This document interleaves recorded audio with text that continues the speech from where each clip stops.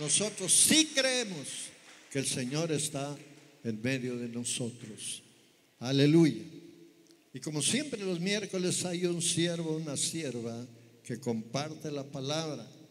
Y esta tarde creo que le corresponde a uno de los jóvenes.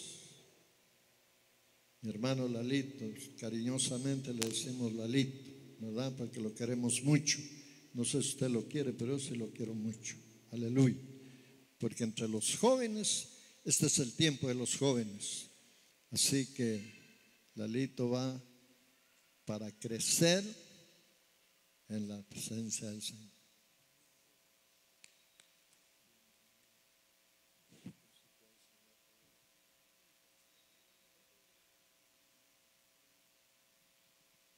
Gloria a Dios, amados hermanos. ¿Cuántos están contentos de estar en esta casa el día de hoy? Estamos felices de estar en la presencia de Dios. Dios ha preparado una palabra para cada uno de nosotros. Yo creo que Dios va a equipar a su pueblo el día de hoy para que salga con fuerzas en el nombre de Jesús. Sabemos que estamos viviendo tiempos difíciles, tiempos finales, pero Dios quiere fortalecer a su iglesia para que siga cumpliendo el propósito de Dios en medio de este tiempo, amado hermano. No somos espectadores de lo que está pasando, sino que somos participantes como iglesia. Tenemos un, un papel importante todo lo que está sucediendo en ese tiempo. Pero antes de comenzar, quiero que hagamos una palabra de oración. Así que le pido que incline su rostro y vamos a orar en el nombre de Jesús. Padre glorioso, te damos gracias, Señor amado, en esta tarde, Señor.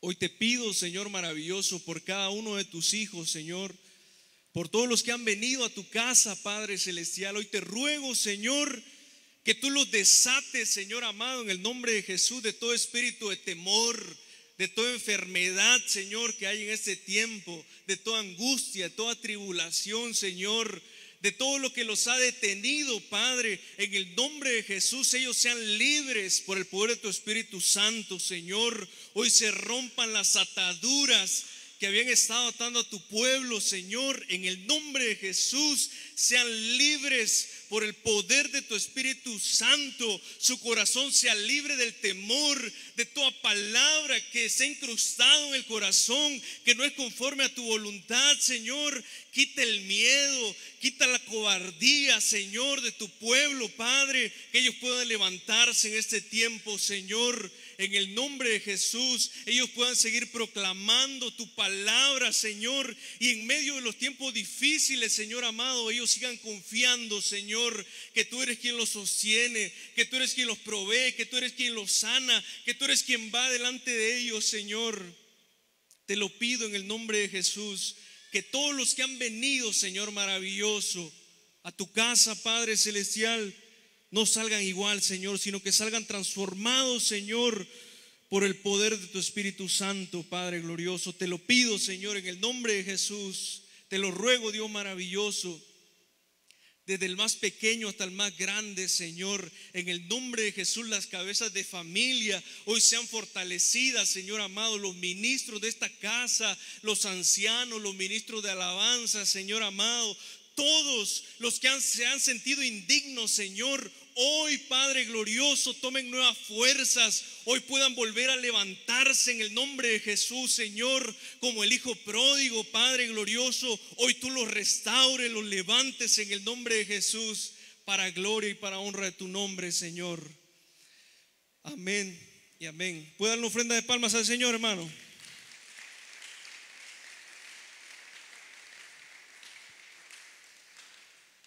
Hoy quiero compartirle este tema, amado hermano, que le he puesto, sigue cumpliendo tu llamado. Todos tenemos un llamado de parte de Dios. Dios nos ha sacado de las tinieblas a su luz admirable. Dios nos ha hecho libres a muchos de la tristeza, a muchos de la depresión, del alcoholismo. Dios nos ha llamado. Pero ¿para qué nos ha llamado el Señor, amados hermanos?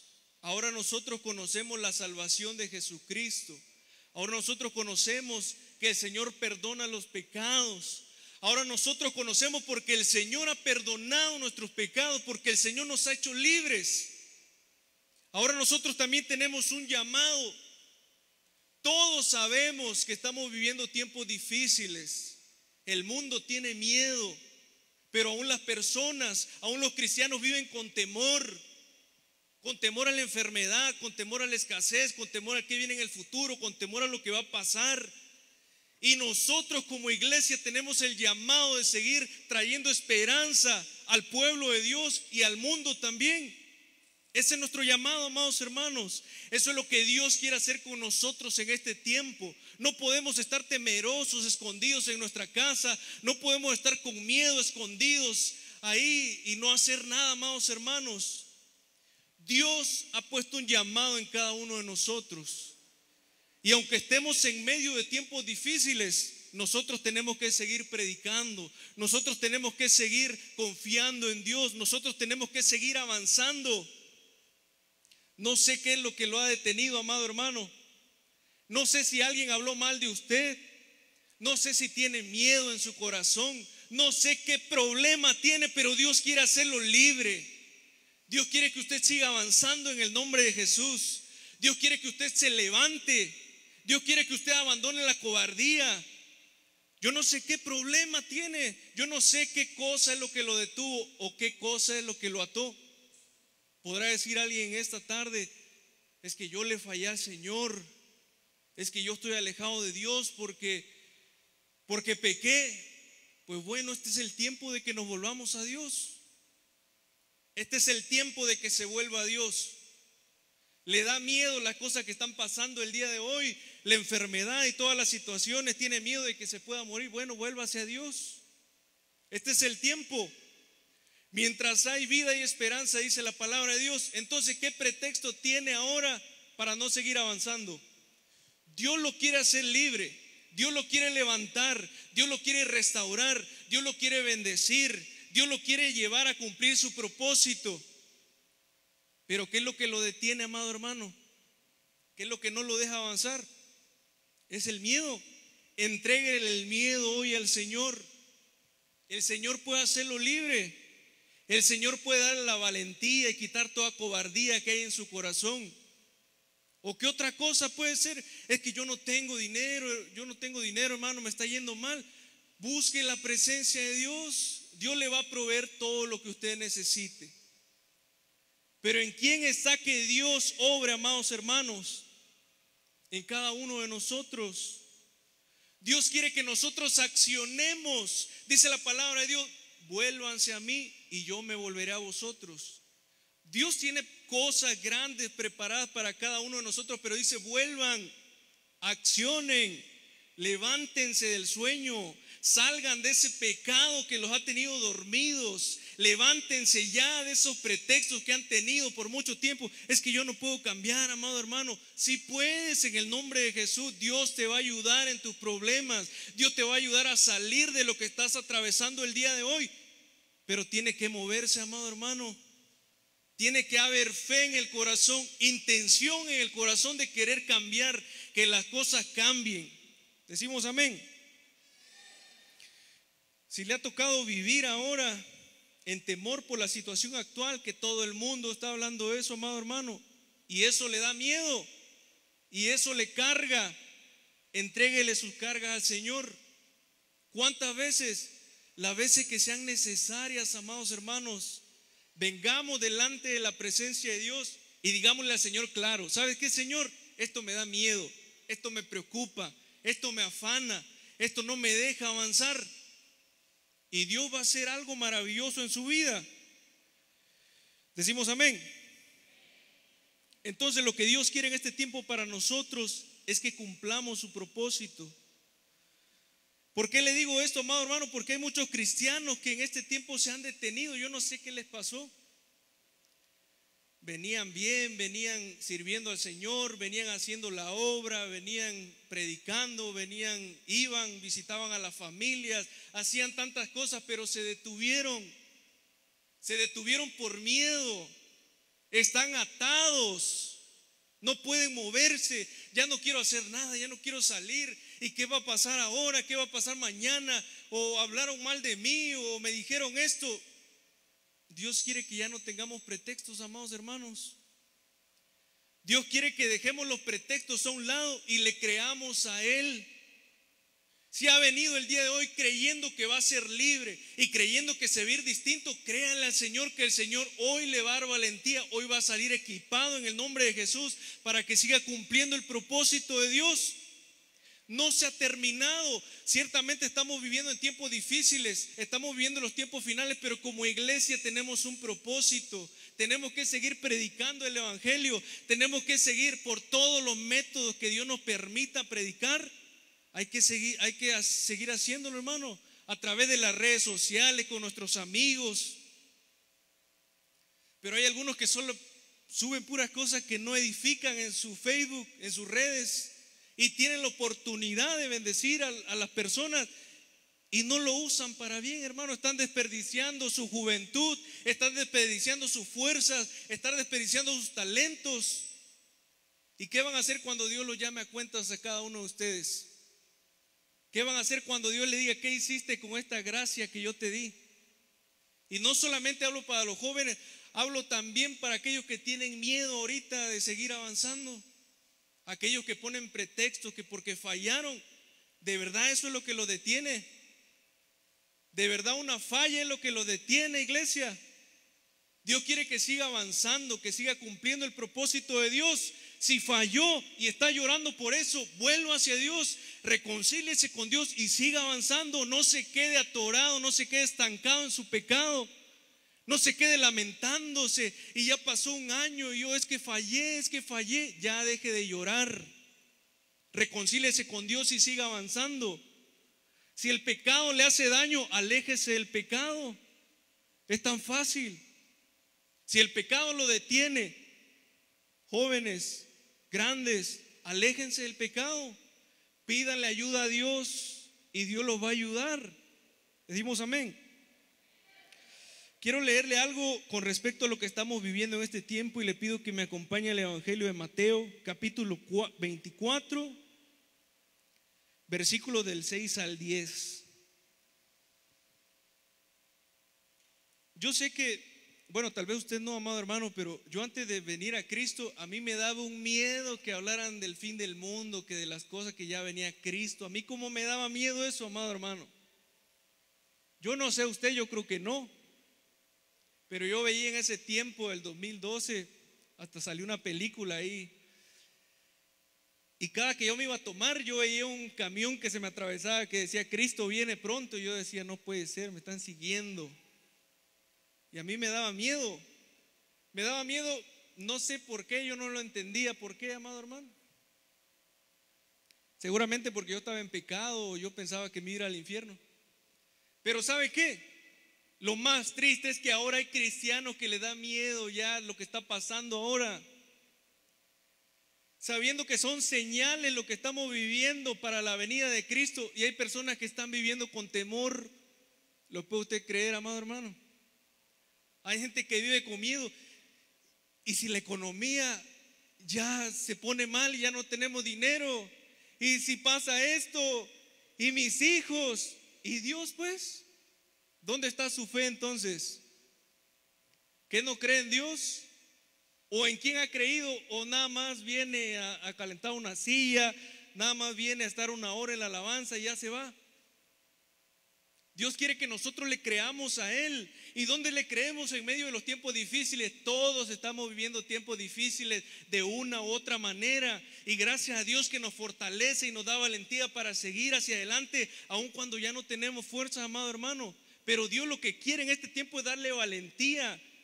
Hay un gran poder en usted que es el Espíritu Santo, que no se imagina las cosas que quiere hacer a través de su vida. Es que hermano, yo no predico, yo no estoy ahí enfrente. Yo no estoy diciendo que necesita estar aquí enfrente para que usted predique, amado hermano. Donde quiera que usted vaya, este es el tiempo para que usted comparte el Evangelio con su testimonio, si no predica con su testimonio, pero hable de las maneras que sean o como sea, predique en tiempo y en fuera de tiempo, en sus redes sociales, en su WhatsApp, donde quiera que sea. Pero compartamos la palabra de Dios. No nos detengamos, amados hermanos. Dios quiere que usted siga avanzando. Decimos amén. Leamos lo que dice la palabra de Dios. Dice la palabra de Dios en el Evangelio de Mateo capítulo 24, versículo del 6 al 10. Ustedes tendrán noticias, dice la palabra, la versión de Dios habla hoy. Ustedes tendrán noticias de que hay guerras aquí y allá, pero no se asusten, amados hermanos.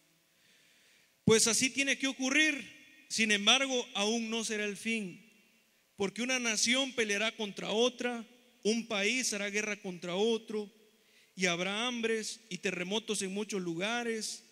Pero todo esto es apenas el comienzo de dolores, dice la palabra. Entonces los entregarán a ustedes para que los maltraten y los matarán y todo el mundo los odiará por causa mía. En aquel tiempo muchos renegarán de su fe. Ya, ya comenzado a escuchar eso, amado hermano. Que ya no quieren saber nada de Dios. Dice, y se odiarán y se traicionarán unos a otros. Habrá tanta maldad que la mayoría dejará de tener amor hacia los demás. Ya lo ha visto, se le hace conocido esto. Estos son los tiempos que estamos viviendo. Pero dice la palabra de Dios, pero el que siga firme hasta el fin se salvará. Y esta buena noticia, el reino será anunciada en todo el mundo para que todas las naciones la conozcan y entonces vendrá el fin. Entonces, ubiquémonos, amados hermanos, ¿en qué tiempo estamos viviendo? En este tiempo que habla la palabra de Dios, todo esto bien cardíaco que estamos leyendo es lo que está pasando ahora. Pero ahora todo eso va a seguir aconteciendo. Pero nosotros como iglesia, ¿qué?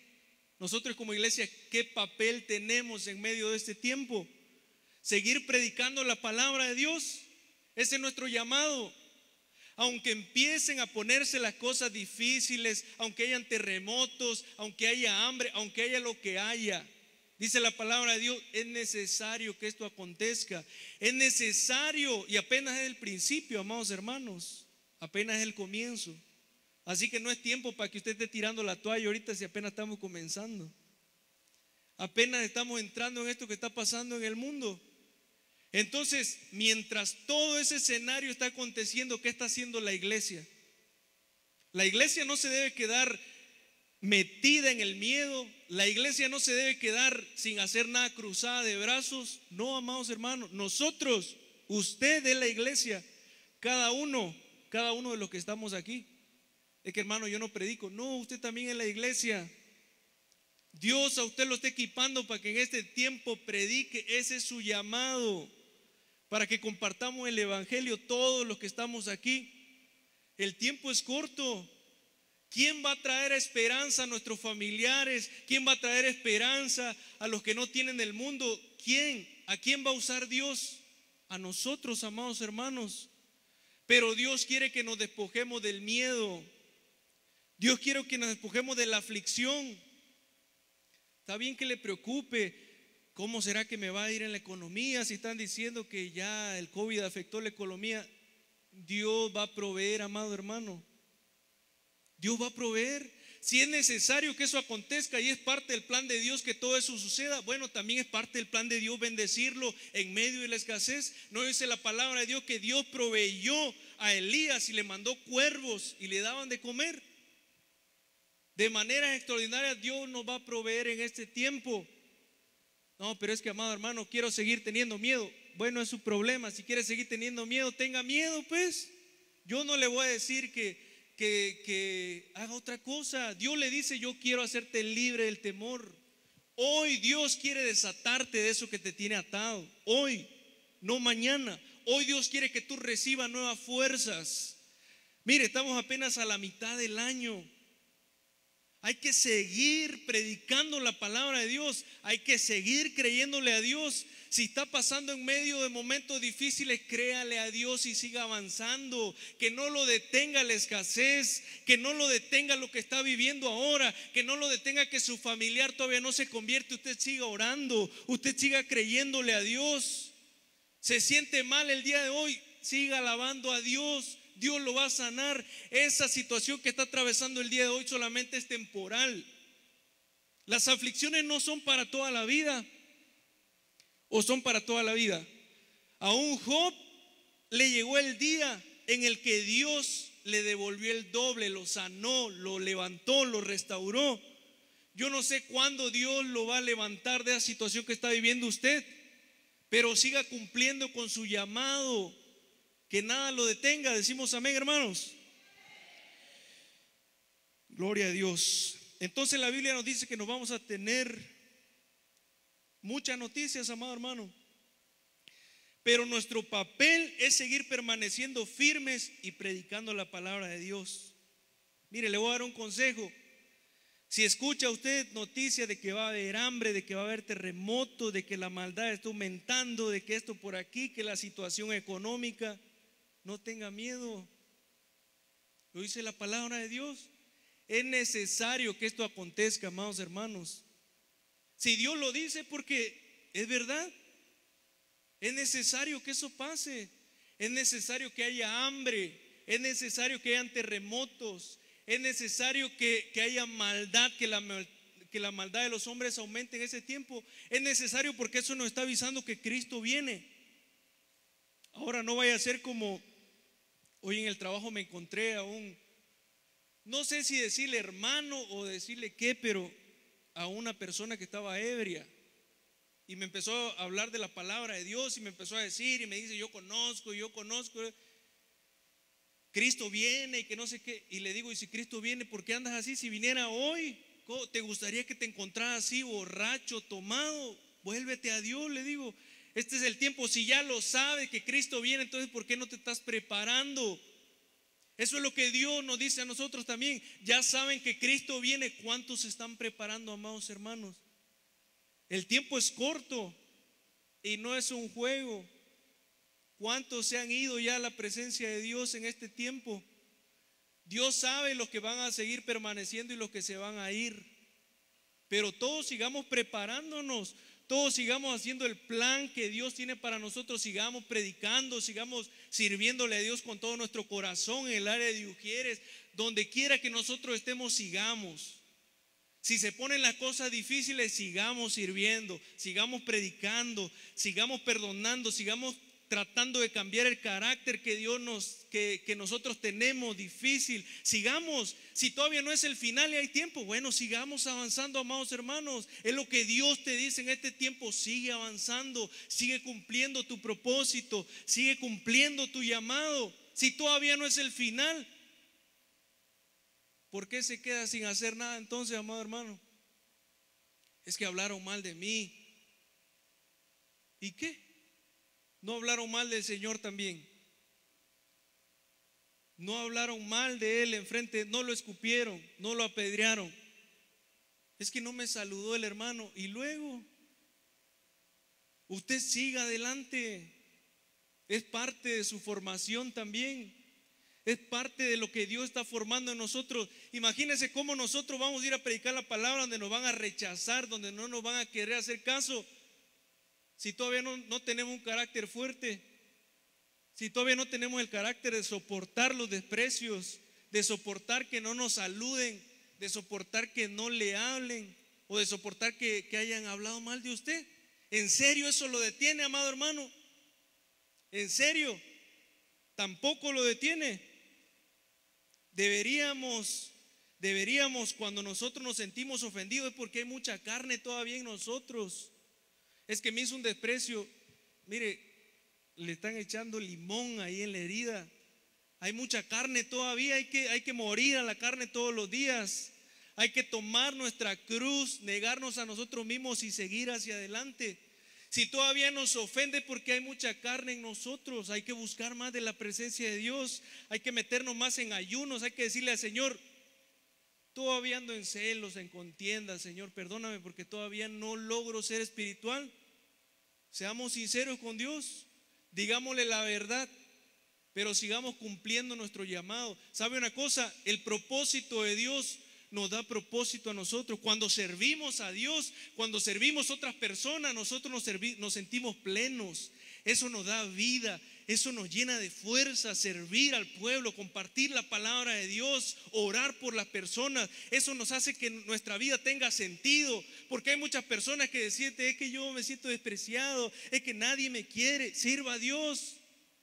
Dedíquele su vida, entréguele su vida a Dios para bendecir a otros. Ahí va a encontrar sentido, ahí se va a sentir amado, ahí se va a sentir que está cumpliendo el propósito de Dios. Pero ya basta, ya basta, amados hermanos, de estarnos quejando de que hablaron mal de mí, es que no me quieren, es que, ¿y eso qué tiene que ver con Dios? Dios está ahí en el trono esperando que nosotros, el tiempo se está acabando y nosotros, es que no me saludó, es que me quedó viendo mal. Eso, eso, amados hermanos, no debería estar entre nosotros. No debería haber ese tipo de situaciones en nosotros. Nosotros deberíamos en este tiempo estar enfocados en estar cumpliendo el propósito de Dios porque el tiempo es corto. No porque lo digo yo, porque lo dice la Biblia. Es necesario que acontezca, como también es necesario que nosotros sigamos cumpliendo nuestra comisión, trayendo esperanza levantando a los hermanos que se fueron. Si usted conoce a algún hermano que se fue, que pecó, que cayó, no hable mal de él. Levántelo. Ustedes que son espirituales, dice la palabra de Dios, vayan y levántenlo. Ah, es que fíjense que yo vi a un hermano que cayó. Bueno, lo vio, no lo ande contando. Vaya y ore por él. Si ya lo sabe, qué bueno. Dios se lo está mostrando para que usted ore por él, para que usted vaya y le hable la palabra de Dios. A veces Dios nos permite eso ver a las personas que cayeron, pero con un propósito para que nosotros le digamos, oye hermano, hey, no tú predicabas, no tú estabas allá ministrando, es tiempo que nos levantemos. Y cada uno, el que haga volver a un pecador va a tener recompensa, dice la palabra de Dios. Así que nosotros vamos a tener recompensa, probablemente no en esta tierra, pero cuando lleguemos delante de la presencia de Dios, Qué bonito sería que nosotros hicimos volver a cuántos, no nosotros, Dios, pero que nos esforzamos. Levántate, levántate, vamos, ya no sigas en el pecado. Eso Dios se lo va a recompensar cuando llegue delante de su presencia. Si usted está predicando y usted ya, ya hizo volver a los que estaban en el alcoholismo, Dios se lo va a recompensar. Dios se lo va a recompensar, decimos amén. Entonces sigamos predicando, sigamos avanzando, sigamos sirviendo a Dios. Si se siente hoy preocupado, mire lo que dice la palabra de Dios en el Evangelio de Mateo capítulo 11, versículo 28. ¿Cuál es la solución para todos aquellos que están cargados y preocupados? Vengan a mí, dice el Señor. Vengan a mí los que estén cansados y afligidos y yo los haré descansar. ¿Cuántos están afligidos, amados hermanos? Mire, ya la aflicción ya le duró como medio año. Desde que empezó el COVID no se le quita la aflicción. Y ahí lo tiene atado todavía. La respuesta aquí está, amado hermano, vaya usted a Cristo. Vayamos a Cristo. Cuando nos sintamos afligidos, no se quede dándole vuelta ahí en su cama. Póngase a orar, amado hermano estoy bien afligido, es que no sé qué voy a hacer y ahí está dando vuelta y no puede dormir. De lado a lado se va en la cama, no siga con la aflicción, ore. Si está alguno afligido, ore. Si está alguno cargado, vaya a la presencia de Dios, descárguese ahí. Si tiene miedo, ahí entréguele el miedo, ahí dígale a Dios, tengo miedo, tengo miedo a esta situación, no me puedo levantar, me siento atado. Y Dios lo va a hacer libre. Así como hoy Dios lo está fortaleciendo y lo está levantando, así también cuando se vaya a su casa y haya pasado el tiempo y venga la necesidad, venga la, aflicción, no se quede con la aflicción. Usted solito se lo está cargando, amado hermano. La solución aquí está. ¿Está usted afligido? Va a llorar. No ande ahí afligido. Está el corazón ahí. Es que no tengo dinero, es que no tengo, pero no ora es que me siento que esto, es que me siento que lo otro, y es que mi mente, vaya y ore, amado hermano. Cuando se sienta afligido, cuando tenga algún problema, vaya, doble las rodillas. Si no se le quita la primera vez, regrese otra vez, es gratis. La oración es gratis, no nos cobran nada por ir a orar. Puede usted orar a la hora que usted quiera, a la hora que vaya en el carro, que esté en su trabajo, donde quiera, amado hermano. Decimos amén. Entonces, ¿qué es lo que Dios quiere en este tiempo? Que nosotros tomemos nuevas fuerzas, sigamos cumpliendo nuestro llamado de traer esperanza en la incertidumbre, de salvar, de decir que todavía hay oportunidad, amados hermanos. Si Dios le perdona a usted que falla todavía, ¿por qué no va a perdonar al que está allá afuera? Si nosotros estamos sirviendo y seguimos fallando, ¿por qué no va a perdonar a aquel que no se lleva tan bien con usted? Dios, el perdón que Dios da es para todos, no es solamente para los que estamos en la iglesia. El, perdón que Dios nos da, primero nosotros lo experimentamos. ¿Cómo Dios me pudiste perdonar esta situación si fue tan grave? Bueno, ya Dios te perdonó, ahora comparta el perdón con otras personas. Comparta el perdón que Dios le ha dado. Si usted habló mal de alguien ayer y ayer se sentía, no, ya hablé mal de esta persona, Dios lo perdonó porque todavía no está muerto, ahí sigue respirando todavía. Entonces, ese mismo perdón que Dios le dio, comparta a la otra persona. Por eso Dios nos perdona todos los días. Dice la palabra de Dios en Lamentaciones 3, capítulo 23, que por su misericordia no hemos sido consumidos. Es porque Dios tiene misericordia todavía de cada uno de nosotros. Es porque todavía tenemos un propósito que cumplir en este tiempo. No estamos aquí, amados hermanos, para que nos conozcan o para que digan que predicamos, que cantamos. No, estamos aquí cumpliendo el propósito de Dios. Y cuando ese propósito se acabe, nos vamos. Cuando ese propósito ya haya terminado, ya acabó todo, ya nos toca partir. Pero si estamos todavía con vida, sigamos cumpliendo el propósito de Dios. Decimos amén. Entonces ya no hay pretexto para que se quede en su situación que está todavía. En la tristeza, en la depresión, en, la angustia que está. Ya no, amados hermanos. Ya no. Bueno. Mire lo que dice la palabra de Dios. Esto es lo que Dios quiere hacer en nosotros en este tiempo. Isaías capítulo 40, versículo 31. Dios sabe que no es fácil. Dios sabe que ser cristiano, realmente cristiano, porque no que tengamos el nombre de cristiano y vivamos como queramos. Eso no, no, ni se diga mejor que cristiano. Porque dejando en mal estamos nada más el cristianismo. Cuando nos ven que estamos gritando, cuando nos ven que estamos diciendo groserías en la calle, cuando nos ven que no vivimos una, una vida que a Dios le agrada, mejor no deberíamos, digo yo, digo yo. Ahora mire lo que dice la palabra de Dios. Dios sabe que es que difícil. Dios sabe que nos tenemos que negar todos los días. Es como cuando le gusta algo, ¿ah? Es como cuando le dicen tiene que estar a dieta, ya no puede comer carne. Es difícil, ¿no? O sea, se le antoja, pues, se le antoja la carne de repente, ¿no? Así es también cuando somos cristianos, se le antoja vivir alguno en la carne todavía. ¿Cómo se me antoja que se me saliera una grosería o que, que pudiera explotar en enojo o lo pudiera yo golpear? Pero ya no es así, pues, amados hermanos. Nos tenemos que negar todos los días a nosotros mismos. Tenemos que crucificar nuestra carne, aquella que se ofende, aquella que le duele cuando hablan mal de ella, aquella que todavía eh, no lo saludan y se siente y ya no va a a la iglesia, ya no, ya todos los hermanos son iguales. Bueno, esa carne es la que Dios quiere que crucifiquemos todos los días. Y sabe una cosa, Dios sabe que estamos viviendo tiempos difíciles, pero Dios nos quiere fortalecer.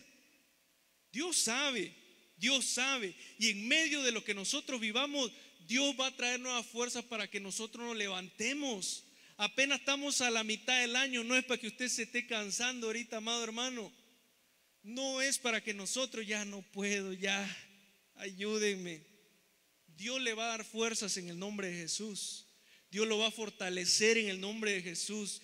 Dios le va a dar aliento en el nombre de Jesús en la necesidad que ahora tiene, si sigue siendo fiel a Dios, si le sigue sirviendo a Dios, a pesar de que ya no puede, Dios le va a proveer todo lo que necesita. Dios lo va a levantar, Dios lo va a sanar, Dios lo va a liberar de ese gran miedo que no se le quita todavía para que siga usted avanzando, amado hermano.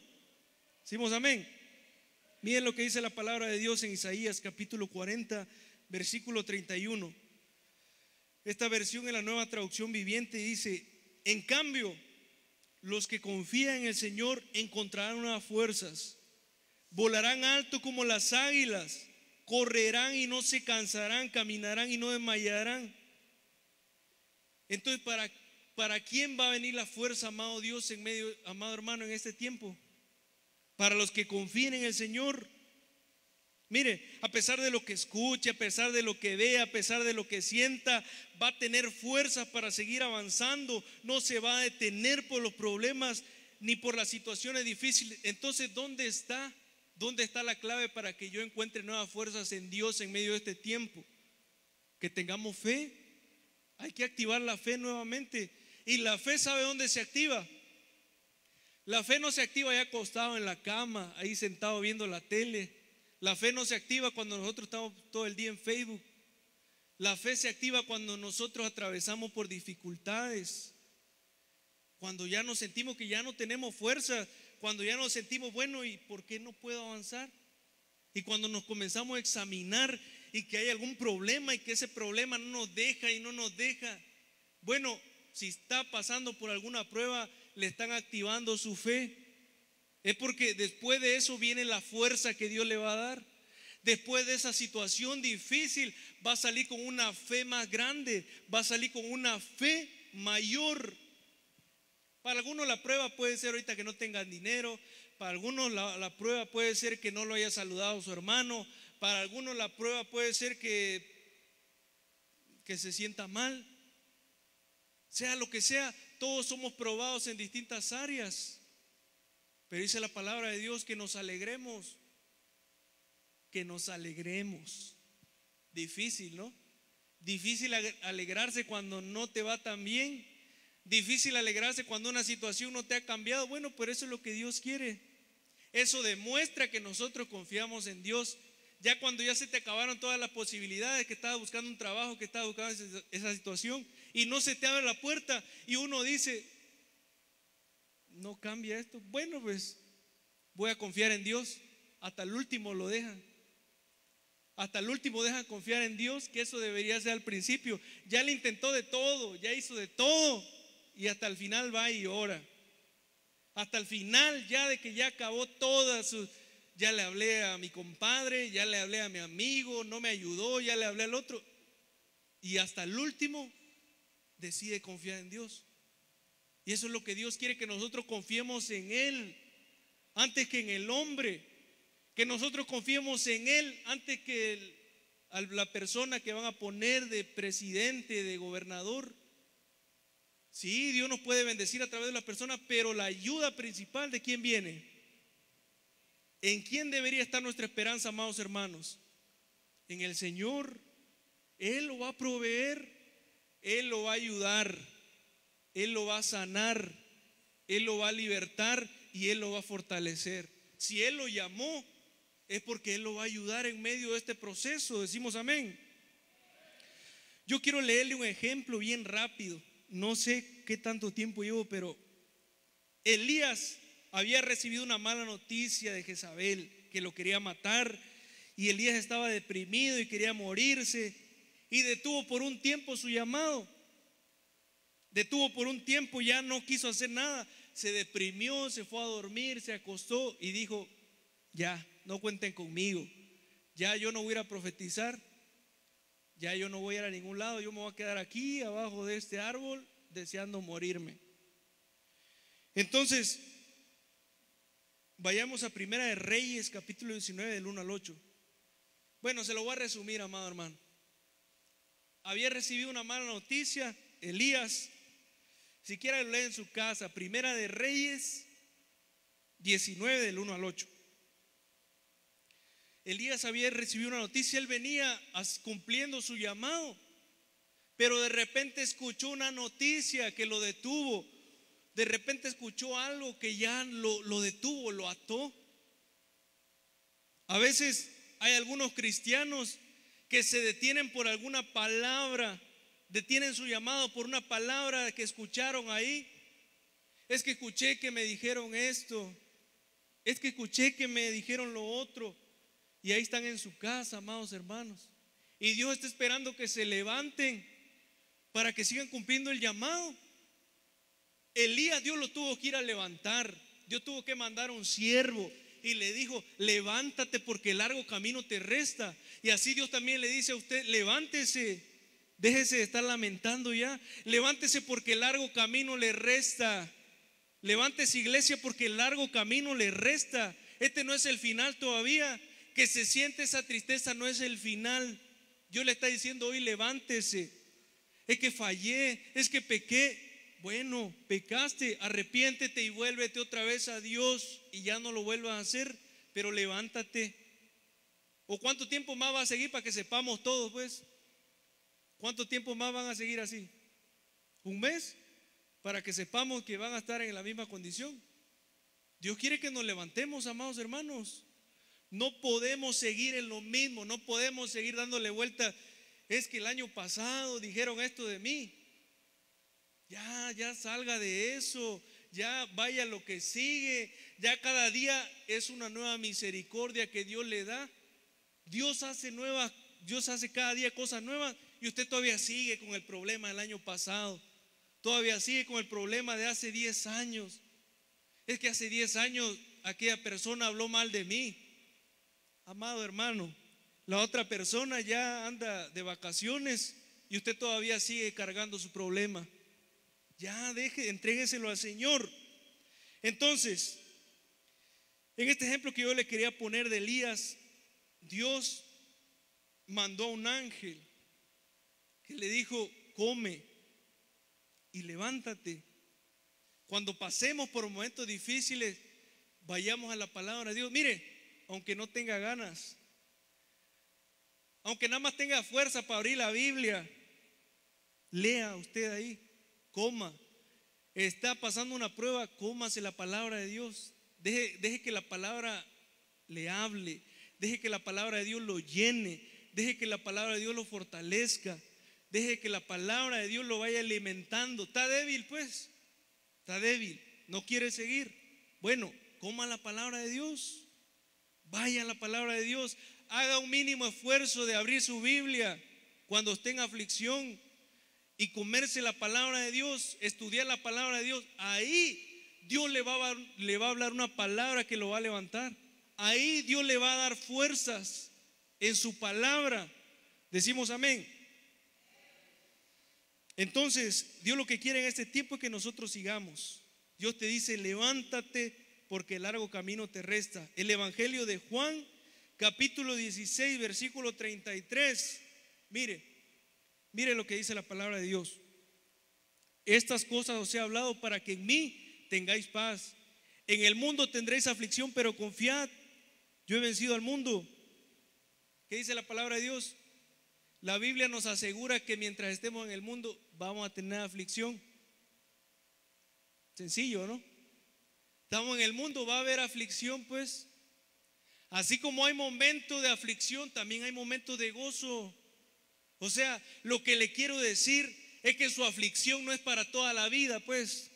Lo que le quiero decir es que esa temporada se va a terminar. Esa temporada no es para siempre. Esa temporada solamente está formando su carácter. Esa temporada solamente lo están preparando, lo están fortaleciendo. Mire, lo están haciendo como cuando a Simón, que era Pedro después, le cambiaron el nombre. ¿Se acuerda de, Pedro? Que al principio era bien mecha corta, sacaba la navaja y le volaba la oreja a los demás.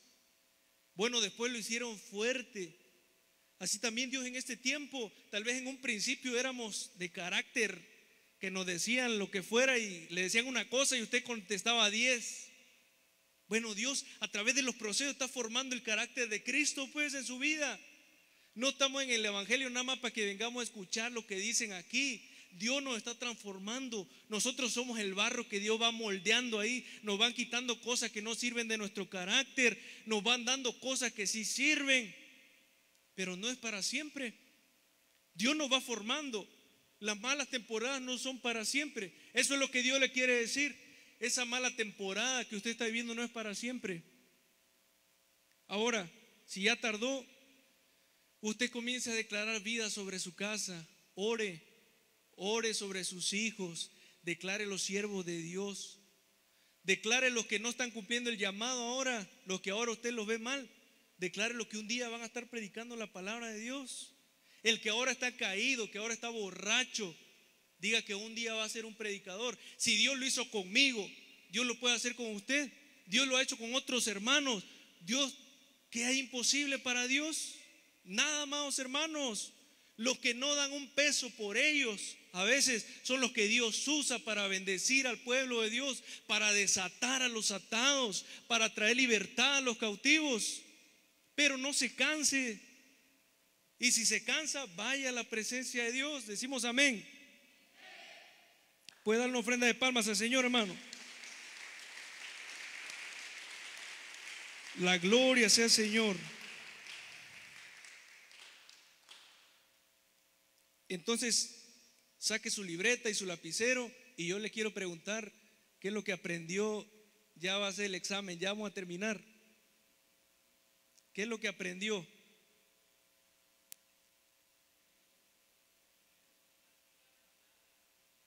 Amén, que debemos seguir avanzando, que debemos seguir predicando la palabra de Dios. No nos detengamos, no nos detengamos. No se lo digo yo porque yo sea, ah, yo soy el fuerte. No, tal vez yo soy el más débil y a veces que en algunas situaciones todavía me siguen moviendo.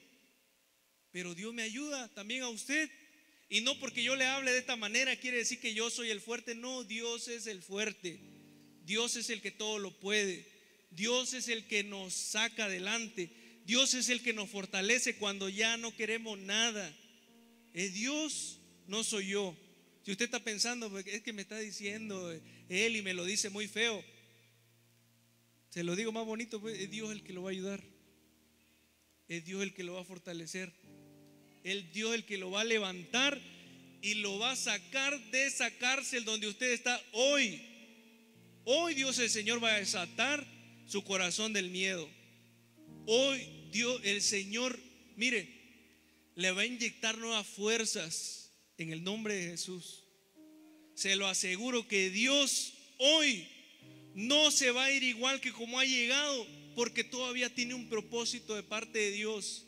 Y los que tenemos un propósito de parte de Dios, Dios le va a dar unción, Dios le va a dar fuerza, Dios le va a dar lo que sea necesario, pero de que se cumple el propósito de Dios en la iglesia de Cristo se va a cumplir. Y eso no lo va a detener nadie. Eso no lo va a detener la aflicción. Eso no lo va a detener los problemas. Eso no lo va a detener el temor. Dios lo va a desatar para que siga cumpliendo su propósito, su obra, su voluntad. Decimos amén.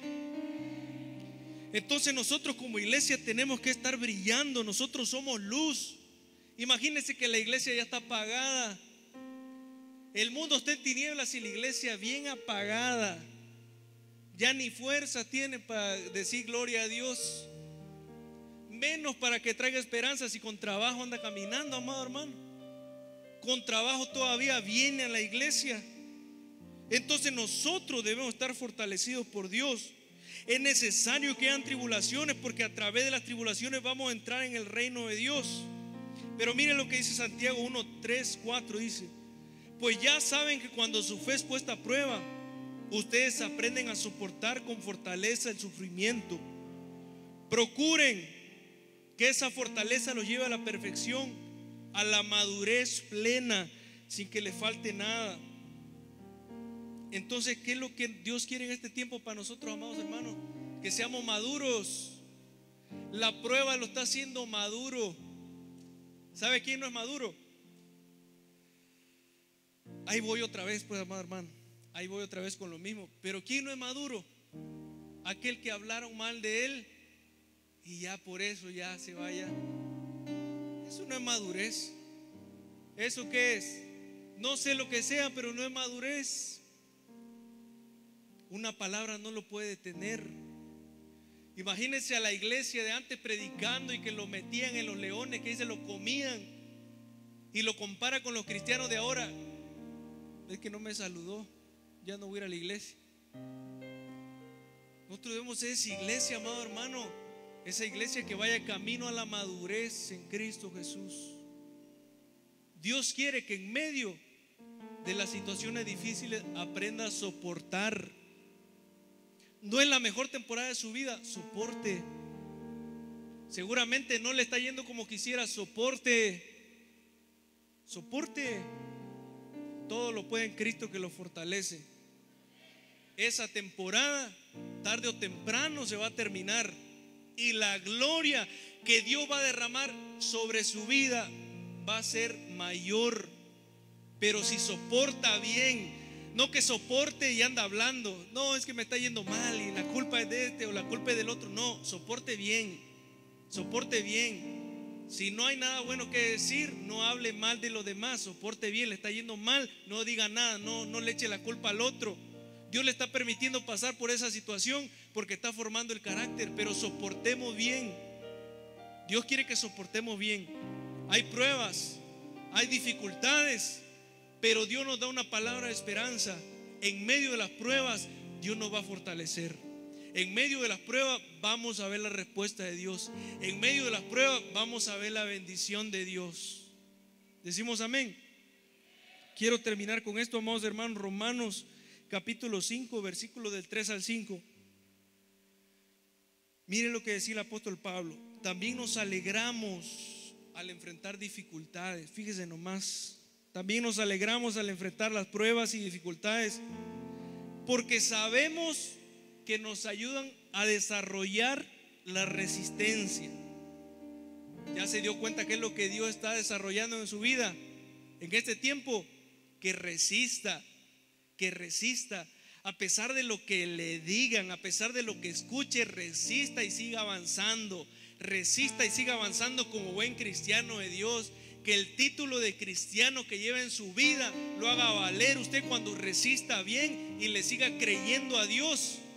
Nadie está diciendo que sea fácil el Evangelio. Nadie, nadie lo dijo. Y quien se lo haya dicho lo engañó. Si hay bendiciones, pero también tenemos que soportar las situaciones difíciles. El carácter se forma en medio de las dificultades. El carácter se forma en medio de las pruebas. No me refiero al carácter natural, al carácter de Cristo. El carácter de Cristo que está probado. ¿Quiere usted salir aprobado de esa situación? Soporte. Quiere que Dios le diga, buen siervo, fiel, te, te digo que eres fiel, porque soportaste bien esa situación.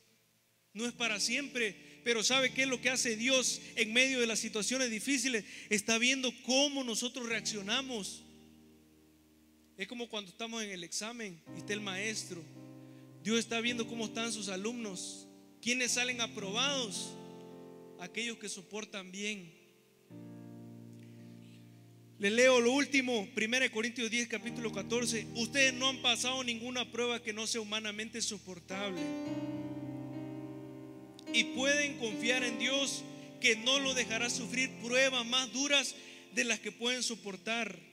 Por el contrario, cuando llegue la prueba, Dios también les dará también la salida para que puedan soportarla.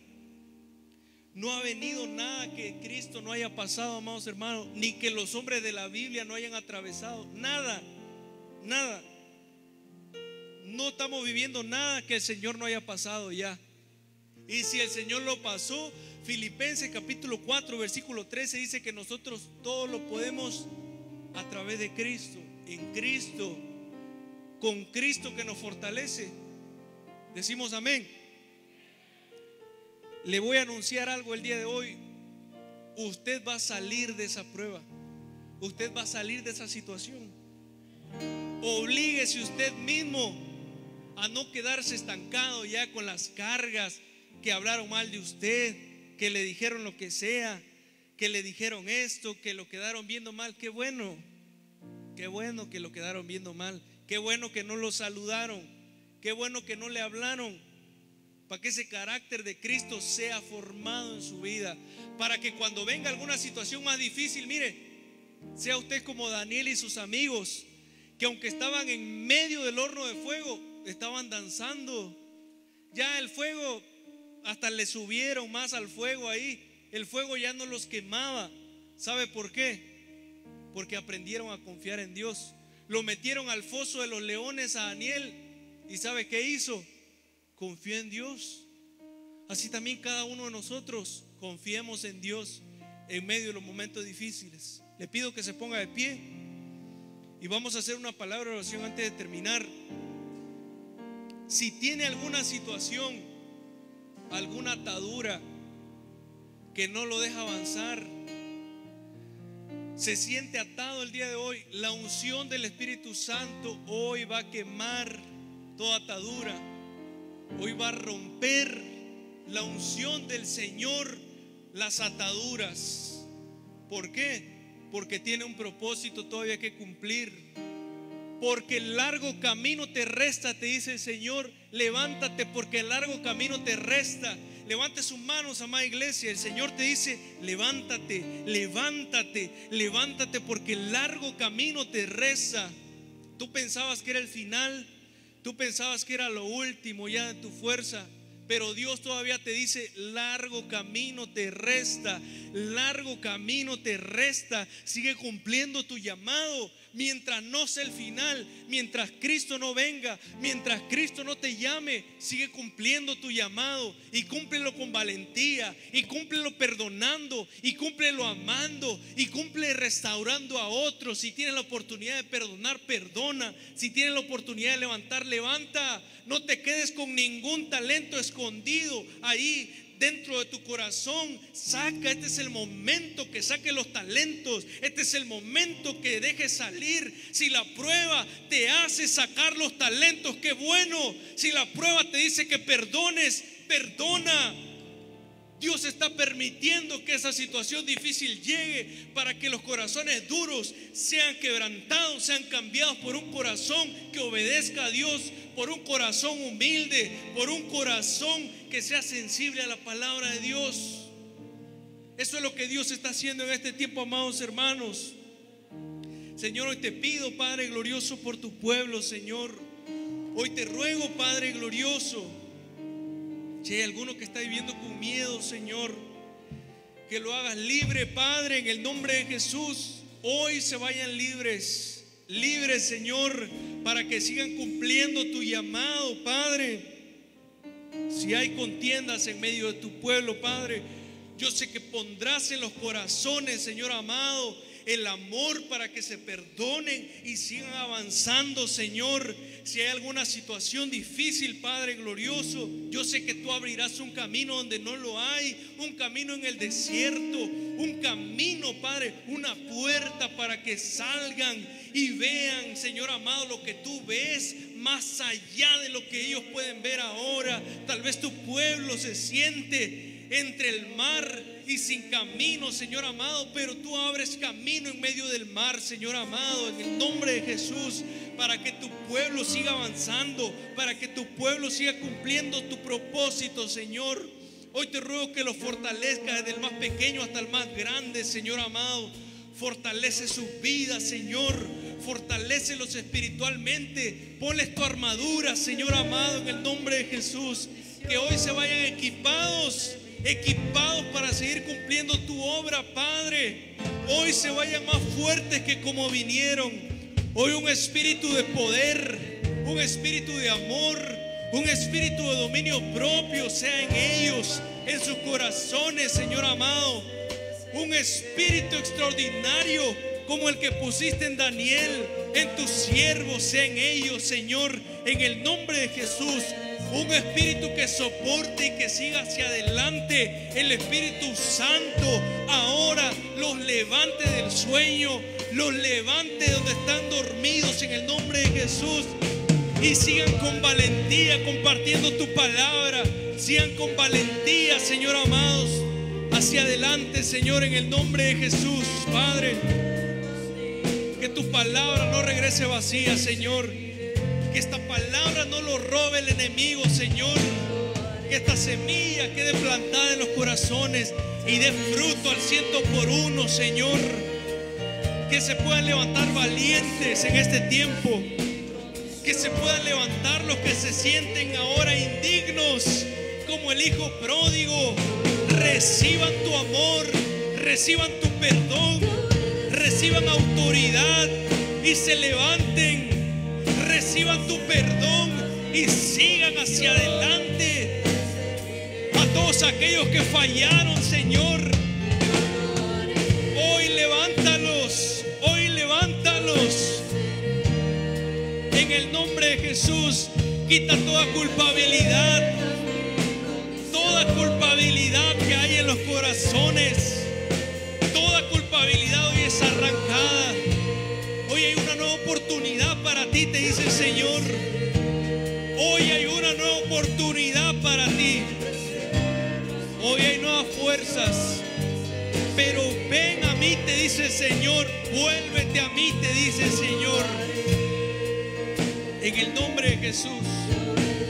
Gracias te damos, Señor, en ese tiempo, Padre glorioso. En el nombre de Jesús. Que tu nombre reciba la gloria y la honra, Señor. Padre, que tu nombre sea exaltado, Señor. Amado Jesús, tú eres nuestra roca fuerte. Tú eres nuestro refugio, Señor. Y hoy recibimos lo que tú nos das, Padre, las nuevas fuerzas. Hoy recibimos aliento. Hoy recibimos tu perdón. Hoy recibimos esperanza para seguir avanzando, Señor. Y hoy declaramos que nada detendrá tu pueblo. Nada va a detener a tu pueblo. Tu pueblo hoy está fortalecido. Hoy tiene las armas para seguir avanzando. Hoy es libre de la acusación. Hoy es libre de todo menosprecio. Hoy es libre en el nombre de Jesús de todo temor. Hoy es libre de toda palabra que el enemigo haya querido implantar en ellos, que los ha tenido atados en el nombre de Jesús, Señor. Conforme a tu palabra y a tu voluntad, Señor, hoy sea hecho, Padre, en el nombre de Jesús, en cada uno de ellos, Padre, para gloria y para honra de tu nombre, Señor. En el nombre de Jesús.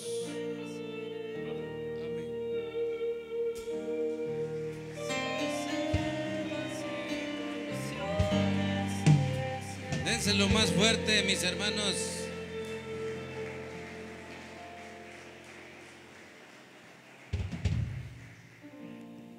Ya como que me tiemblan mis, mis rodillas al pasar porque ya no paso. Ya parece que así hacen mis rodillas, de ver una multitud enfrente, hermanos. Gloria a Dios. Vamos a dar los avisos.